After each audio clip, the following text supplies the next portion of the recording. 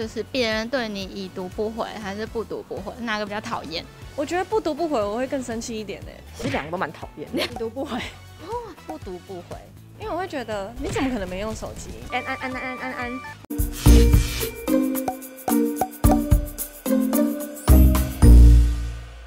已读不回跟不读不回，你比较讨厌哪一个？但不管是哪一个啊，偷看一下不留记录，应该是很多人会选择的做法。iPhone 呢是直接长按预览就可以偷看内容。那今天这集要来教三星手机的偷看办法。不要再说我乱买了，我都是用刷 bag，只需要多一个步骤就可以赚取更多现金回馈哦。只要在刷 bag 里面找到你想要的平台，接着跟平常一样选购下单，购物金就会出现在刷 bag 首页。偷偷跟你们说，科技产品的回馈都很有感，不止三 C 生活、运动、旅游平台也都有哦。叫外送买菜哦！立即透过资讯栏链接注册刷 back，再赚一百元奖励金。首先呢，你要去三星专属的应用商店下载一个 app，它就是 Notification Edge，去借一下我们家 Henry 刚换的热腾腾 Z Flip 三五 G，黄色很可爱耶！提醒大家一定要到三星的应用商店来下载哦，搜寻 Notification Edge，然后安装它。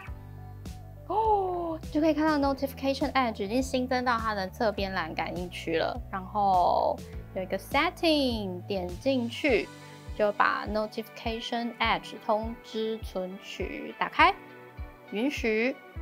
好，回到桌面，我们来开启侧边栏的感应。这边可以进 Edge 的设定。然后这里有一个 application，点进去，这里你就可以选择，就是你想要在你的侧边栏显示哪些平台的讯息。我们把 Line、Messenger 勾起来，设定是很简单，这样就完成了。那我们来看一下还要怎么样偷看。好，那现在有人传讯息给你了，你就可以拉开你的侧边栏，哦，讯息就会出现在这里，它会按照时序来。那贴图的话，它不会显示那个图案，它就会显示传送的贴图。那如果是长文章的话呢，它会显示大概三四行左右的内容。所以如果你想要把那整篇文章看完，你还是得点进去看。那有个地方蛮有趣的，就是你可以看到这边讯息进来嘛，你点进去，它会进来的页面，可是它不会已读哦。实际的使用上呢，就是偶尔会有漏讯息的状况，一个礼拜大概一两则，就是不影响整体的使用体验。那哪些三星手机能用呢？我们自己实测一轮，就是。绝大多数的旗舰机都可以使用，但我们还是有看到一些三星的使用者，就是回报他没有办法，就是使用这个偷看功能。可以先建议你就是检查这些事情。第一个是你有没有更新你的手机版本，第二个呢是你的侧荧幕面板有没有打开，第三呢去看一下就是你的隐私设定有没有允许。如果这些你都做完了还是没办法使用的话，请你在我们的影片留言的手机型号，造福一下就是其他的三星使用者，谢谢。那其他安卓手机怎么办？嗯，其实还是有 App 可以用啦，你搜寻一下就会查到已读不回神器或已读不回助理之类的 App。但老实说呢，我不是很信任这类型的 App。你想想，你的讯息已经被让你看到了，然后你还要把你的讯息再被这些已读不回神器再看一次，因为你要先授权它可以看。它才能够让你先偷瞄嘛。开发这些 app 的公司资料也比较少，就是它的网页连过去可能只是官宣一些隐私权的设定，或者是连到一个看起来很久没用的脸书粉砖。I don't trust them，但这就是个人的选择啊。我自己是用 Sony 手机，所以我选择了已读认证会。我们去看一下别人怎么想。走。我要来问巧克。好，在用 Line 的时候啊，别人对你已读不回，或者是不读不回，你比较讨厌哪一个？其实两个都蛮讨厌，两个都讨厌，你选一个。我我传信一个你，就是马上就给我回，应该是已读不回。对，我不喜欢已读不回，因为我觉得你既然已经看到了，你就是多少给我一点回应吧。这样你是讨厌我吗？为什么不回？这样不读不回你 OK 哦？不读不回。看事情的重要性。如果今天那件事情真的很重要，我必须要他马上回我的话，我就会要么就在按按按按按按，或者是就打给他。因为既然既然是急事嘛，我就直接打电话也 OK 啊。